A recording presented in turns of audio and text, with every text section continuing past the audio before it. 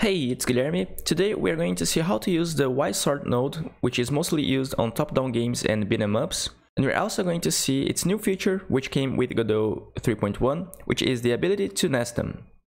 The YSort node is going to sort its children based on their Y position. Here I created a simple scene and we have a YSort node, and as a child of it we have a barn and a tree. I'm going to select the tree and I'm going to start moving it around. And if I put the tree on a Y position, which is greater, in this case below our barn, it's going to appear on top of it.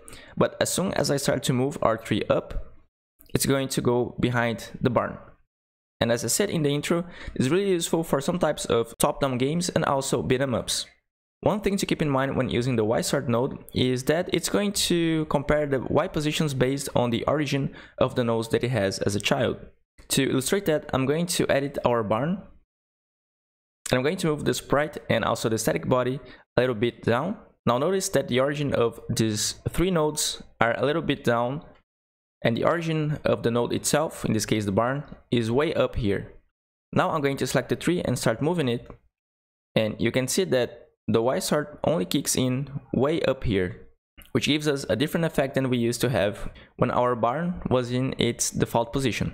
Now back in Godot 3.0, we could not nest YSort nodes.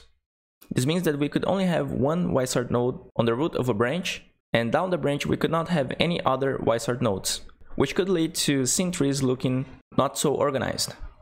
Now in Godot 3.1, we are able to have nested YSorts, and as you can see here from this scene, we have a world, we then have another YSort for buildings, vegetation, details, NPCs, and if we expand the vegetation node, you can see that we have another YSort node, which is for this right forest right here.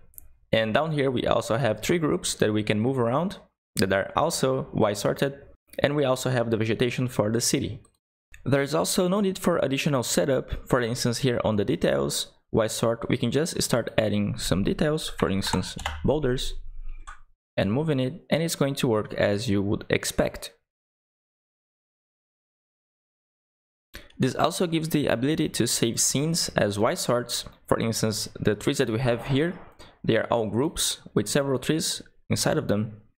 And if we wanted to, we could have saved them as separate scenes.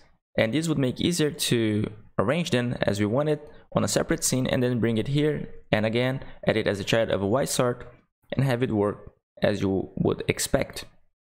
Behind the scenes, what Godot is doing is treating all of these YSorts as one single YSort but this change makes our life much easier. And of course, if we play the game, everything is going to work as you would expect from a single YSort node.